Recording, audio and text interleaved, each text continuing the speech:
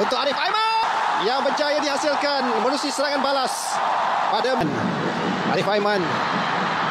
Cuba Arif Aiman menggunakan half space untuk membuat seri. Arif Aiman sekali lagi Arif Aiman. Bagaimana kali ini dan jaringan yang ketiga. Hat-trick untuk Arif Aiman. Dalam saingan separuh akhir kedua ini pada minit ke-38.